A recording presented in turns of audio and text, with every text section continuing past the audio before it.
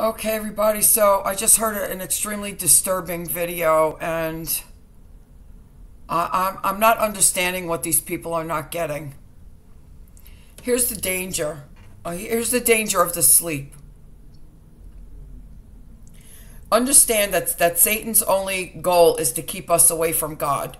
That's, that's all he's trying to do here. Um, in the sleep, we have blinders over the eyes. Uh, we're we're not hearing what what the what the other person who is trying to give you the truth is actually saying, and it's very dangerous when you're not open when you're not open to hearing what another person is saying. Um, more or less, Satan's won. So now uh, I'm going to try this once again. This is about the fourth or fifth time I'm doing this, but I, I think it is necessary. It is necessary because it's dangerous what these people are doing out here. So this person was actually screaming. Do you think that by your legalism you are going to get to salvation? It's not what I've ever said. That is not what I've ever said. And this is in fact what the sleep is. You hear you hear things in the negative. You're hearing to respond. You're not hearing to understand. This is what the problem is. And this is the sleep. Let's take a look. What is legalism? Because these people throw these terms around all the time. What is legalism? I Googled it. Legalism Theology by Wikipedia. In Christian theology, legalism or nomism is a pejorative term applied to the idea that by doing good works or by obeying the law, a person earns merit, a person earns and merits salvation, which is what this guy was screaming about. That's never what I've said. That's never what I've said. I said we are saved by grace but we are commanded to transcend the world. That's what I've been saying out here over and over and over and over and over and over and over and over and over and over again. So let's go to my favorite page. Got questions? Why do we still sin after salvation? And this is the whole point. This is the whole point. And you will understand in my video that I made this morning, what did I say? I said, I keep crying to the Holy Spirit to please show me, please show me what I had to do to fully trust the Lord. You see, we have to do this. We have to do this, but there's no way that we can do it without the Holy Spirit. Without the Holy Spirit. We have to let go of everything of the world. It's what we're commanded to do. But we cannot do it without the Holy Spirit. Nor are we able to have any veils lift without the Holy Spirit. Nor are we able to see our blind spots without the Holy Spirit. This is where the work comes in. So let's let's see what these uh, what this article says. Why do we still sin after salvation? Salvation begins the moment we receive, by faith, God's offer of forgiveness through the death and resurrection of his son Jesus. Ephesians 2 8 9 and John 1 12.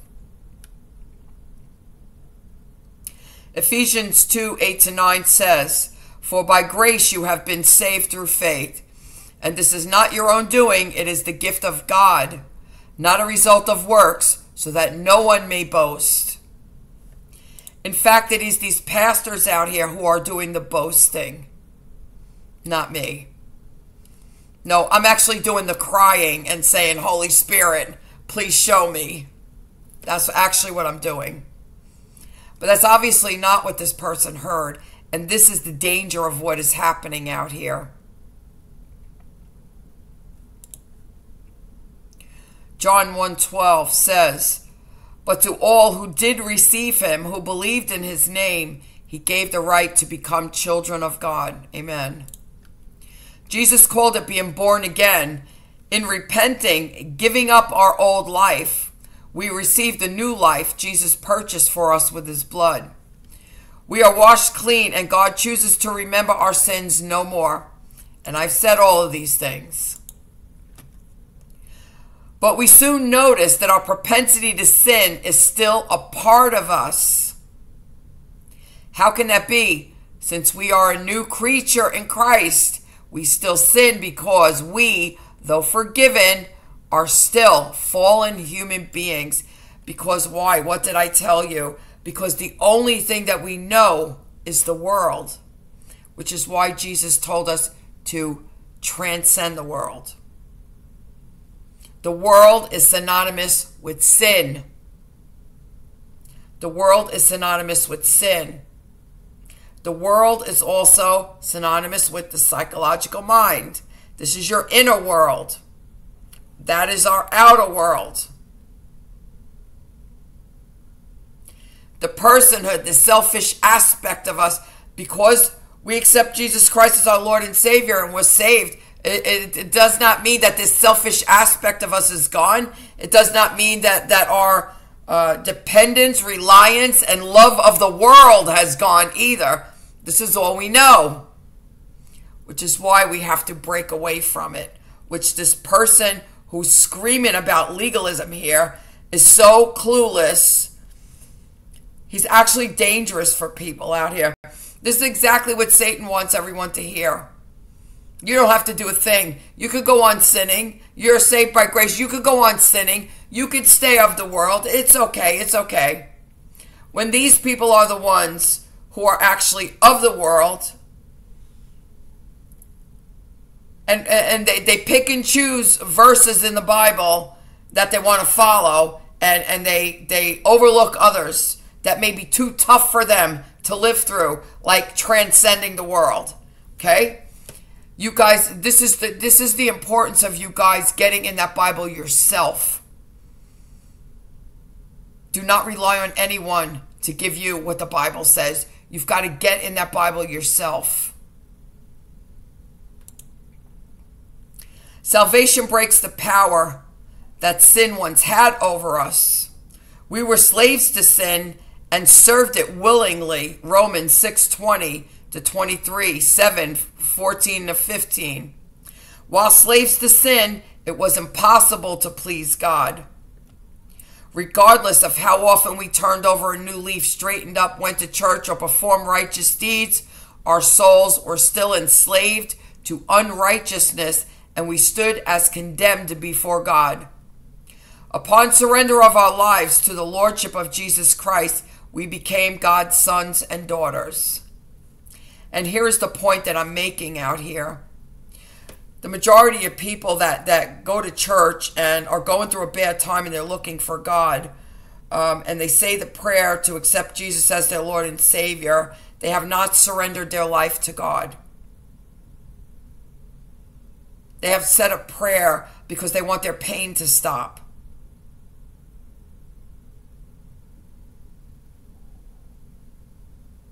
This is what everybody's missing out here.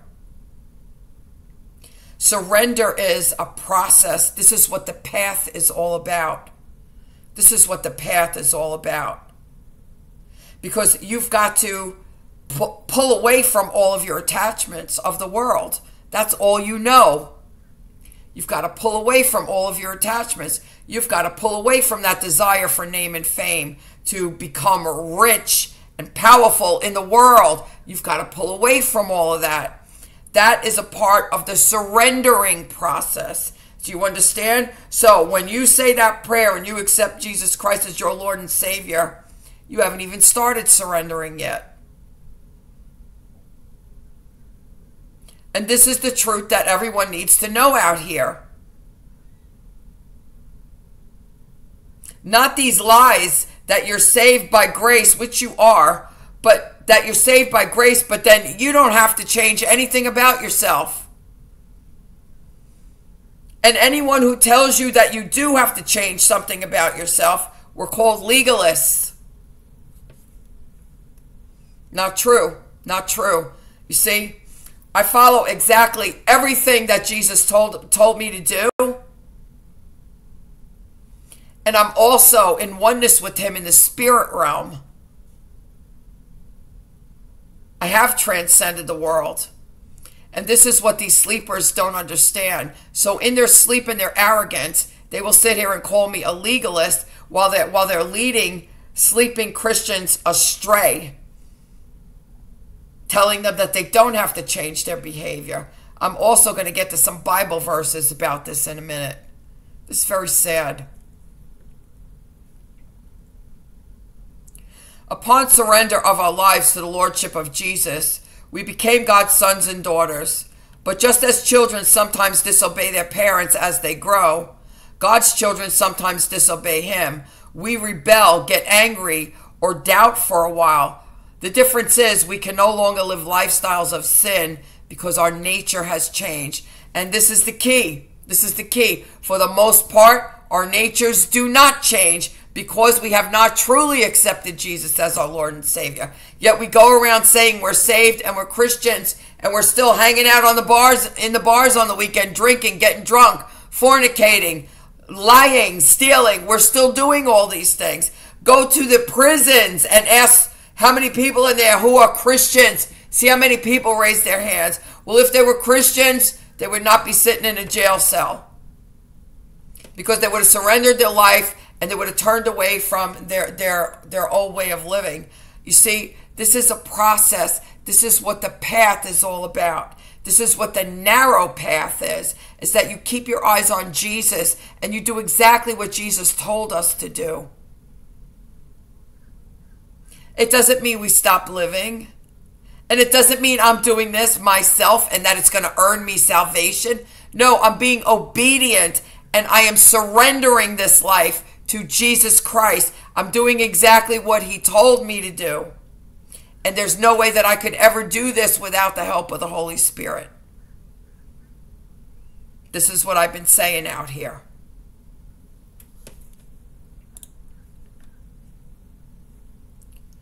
A fish may long to live on a beach, but once it has uh, flipped itself onto the sand, it wants nothing but to return to the water because its nature is not designed for dry land. And what did I say?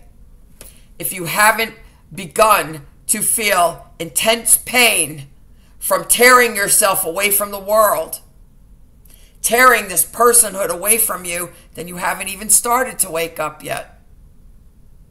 This is exactly what's being said here. This, this waking up process goes against our very nature. It goes against the very nature of the personhood, which is the only reality that we know until we wake up. It is a very, very excruciatingly painful process. And it cannot be completed without the help of the Holy Spirit.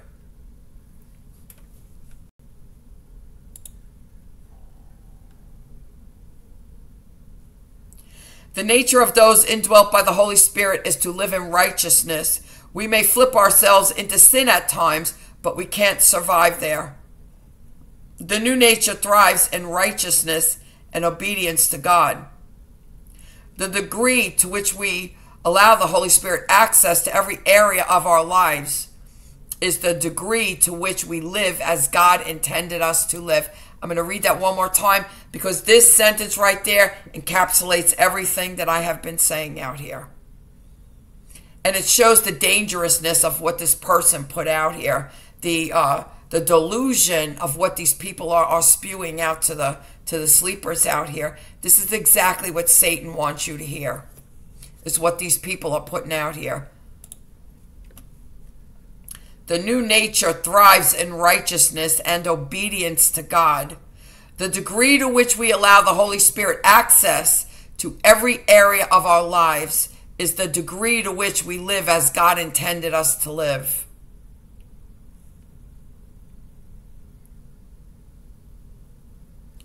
To the praise of God's glory after we are saved, God deals with our sin differently than he did before we were saved. First John 1 1 John 1 9 tells us that we can confess our sin and be forgiven. Confession means we humbly agree with God about how bad sin is. We admit we were wrong and ask His forgiveness. The awareness of our sin and the confession of it should be a regular practice. And this is what I've said also. The sins that we all committed in the sleep before we were saved, which is done by grace and faith, God has washed them away from, from us. We're starting with a clean slate. Anything after that, we must repent of as we are continuing the process of transcending the world. And now, people like this person who put out this video, um, it is a little difficult for people like these to actually transcend the world. This is why Jesus said, It is the narrow path, and very few people find it. This is why. Because it is excruciatingly painful.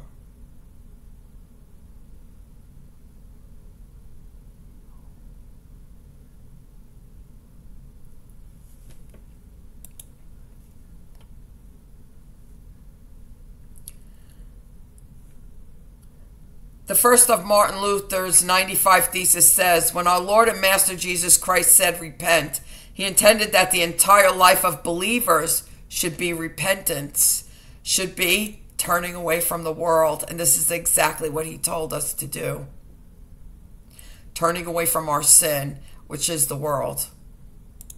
God can pardon us and maintain his justice because our sin was already paid for by Jesus. There is no need to punish us because he has already punished his son. As we grow in grace and in the knowledge of our Lord and Savior Jesus Christ, we overcome besetting sins, Peter lists steps we can take in developing our new nature, and ends with the promise that if we do these things, we will never stumble. Our holiness is the goal, but John acknowledges that we still sin. My dear children, I write this to you so that you will not sin. But if anyone does sin, we have an advocate with the Father, Jesus Christ, the righteous one. God's desire for us is that we not sin, and one day our sanctification will be complete. And this is the process that I'm completing right now while this person is screaming that I'm a legalist. Okay? No, this is massive, massive, massive sleep. And it's obvious this person has not even started the journey yet. He has not not located the, the narrow path, which is very sad.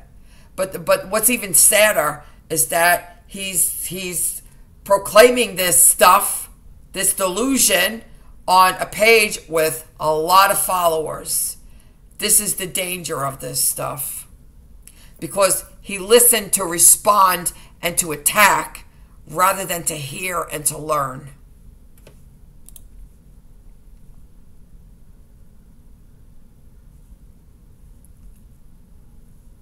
But until that time, we still inhabit fallen bodies in a fallen world, and we struggle with the flesh sometimes, some and sometimes lose the battle, but we will not be lost. Jesus himself intercedes for us as our high priest.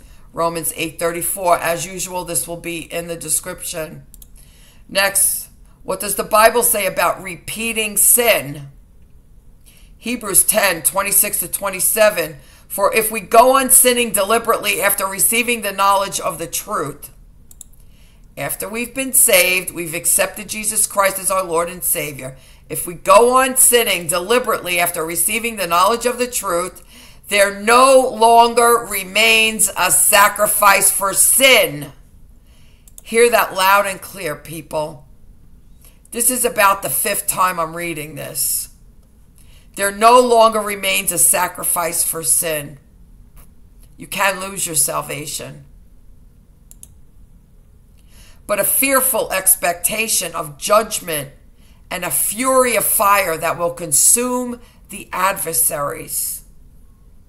So it's it's talking about if we go on deliberately sinning after receiving the knowledge of truth. So it's talking about believers. It's talking about believers. There no longer remains a sacrifice for sin.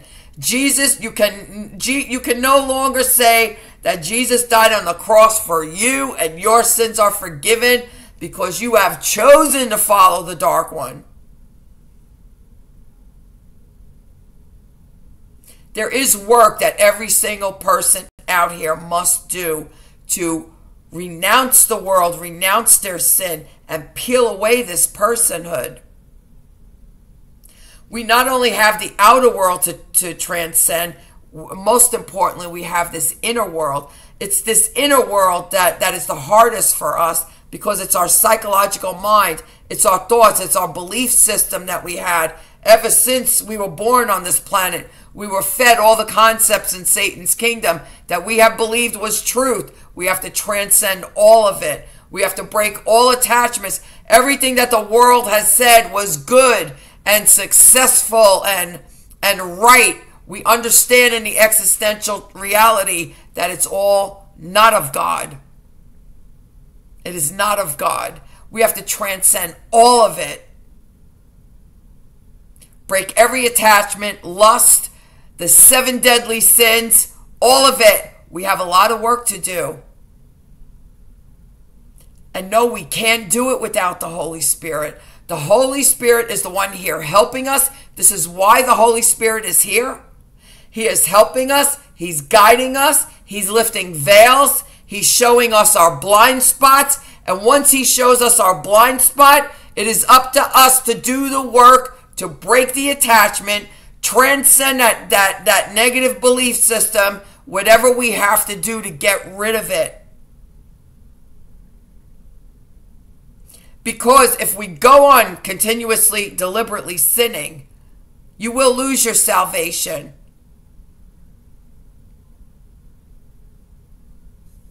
And don't believe me, it's right in the Bible. Hebrews 10 26 to 27, there you will find it. Romans 7:15 For I do not understand my own actions for I do not I, I do not do what I want but I do the very thing I hate. Okay? And th- and this is because we're always battling the flesh until we actually wake up. And know this can never be done without the Holy Spirit. 2 Peter 2 20 to 22. For if after they have escaped the, the defilements of the world through the knowledge of our Lord and Savior Jesus Christ, they are again entangled in them and overcome, the last state has become worse for them than the first. For it would have been better for them to have never known the way of righteousness than after knowing it to turn back from the holy commandment delivered to them. What the true proverb says has happened to them. The dog returns to its own vomit, and the sow, after washing herself, returns to wallow in the mire. This is a constant daily thing that we must do. And um, this, this is why very few people find the narrow path. Because nobody wants to do the work. And the work is ex- extremely, extremely, excruciatingly painful until you get past it. But the Holy Spirit is here helping you the whole time. And this is why He is here with us. He is not here with us so we can puff up our egos showing signs and wonders. Okay? I- I'm going to tell you something. You know, Jesus did not speak just to hear himself talk. As I read to you in, in my last video, Jesus spoke the words that the Father told him to speak. As as then he said when he went back to the father he was going to send a helper who will not speak his own words but he will speak the words of the father. See the holy spirit is doing the same thing God is still on the throne. Jesus did not say one word that was not told to him to say by the Father. So, who is anyone out here to pick and choose what verses of the Bible they want to follow because it makes their life easy?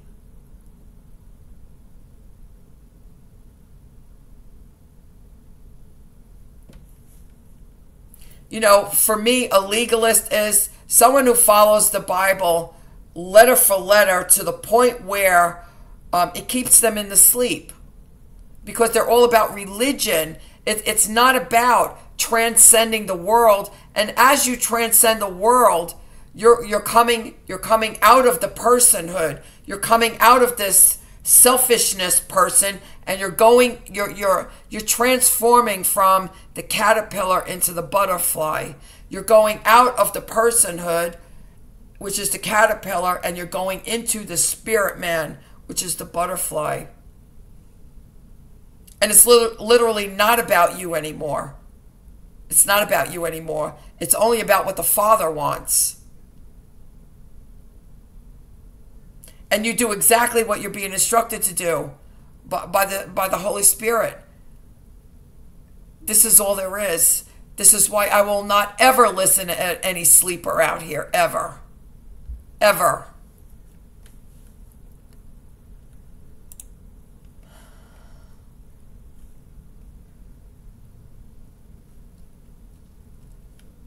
I'm going to start that again. 2 Peter 1 4 to 11. By which he has granted us to us his precious and very great promises, so that through them you may become partakers of the divine nature, having escaped from the corruption that is in the world because of sinful desire. For this very reason, make every effort to supplement your faith with virtue, and virtue with knowledge, and knowledge with self control, and self control with steadfastness, and steadfastness with godliness, and godliness with brotherly affection, and brotherly affection with affection, affection with love. For if these qualities are yours and are increasing, they keep you from being ineffective or unfruitful in the knowledge of our Lord Jesus Christ.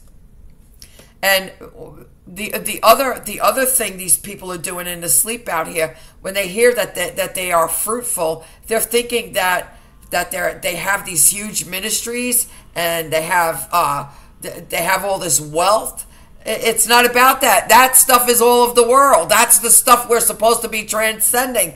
The fruitfulness is that you are transcending the world. You are thinking of yourself less and thinking of others more. You are able to show other people love. This is the fruits that the Lord is talking to you about because it's all of the Spirit.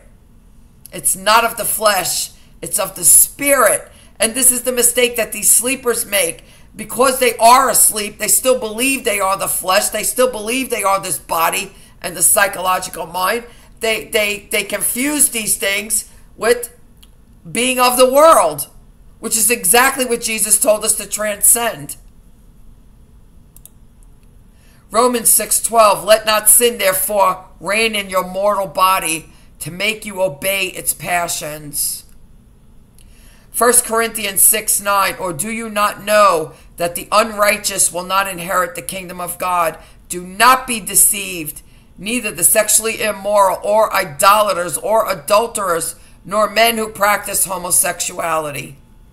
Matthew 7 21 to 23. Not everyone who says to me, Lord, Lord, will enter the kingdom of heaven, but the one who does the will of my Father who is in heaven. And let's get this clear right now. The one who does the will of my Father. What did the Father say? have no idols before him, you are to love him first and foremost, then you shouldn't be chasing the things out in the world. You shouldn't be chasing name and fame. You shouldn't be chasing money. You shouldn't be hating on everybody out here. The one who does the will of my Father, because the will of the of the Father has all to do with the spiritual aspect of us that we are to get rid of this selfish flesh nature of us and to not be of the world. That is the will of the Father. And once again, these sleepers out here believe that it's all signs and wonders, that that is the will of the Father, that they have to be traveling all over the place, that that is the will of the Father. And they're missing out on the point. That's not of the will of the Father. That is a part of the will of the Father. But they've totally missed out on everything else. They will be the people that Jesus turns away. They have not found the narrow path yet.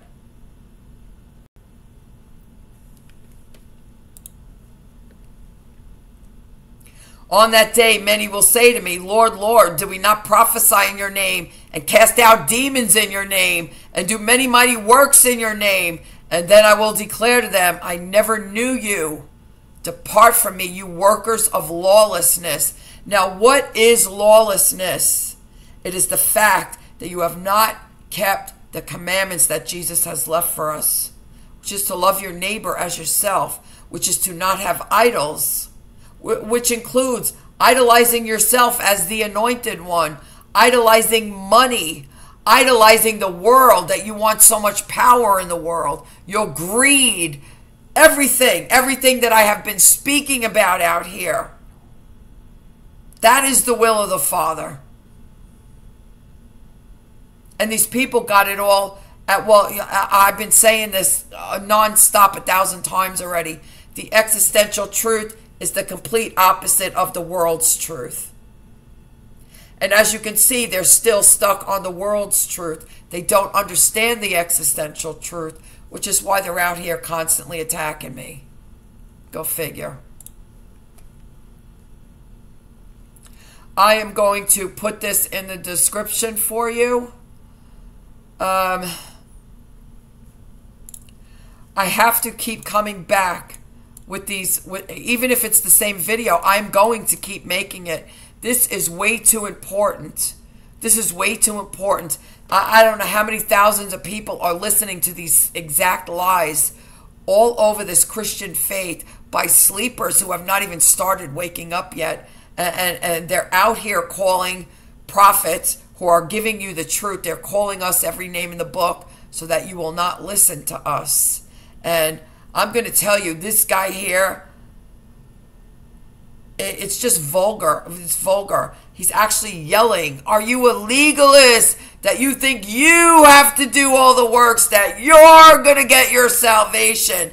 It's obvious he has not heard a word that I said. He is comatose and asleep. But the biggest problem is his page has millions of followers and he's feeding this crap to everyone who hears what's being put out on this page.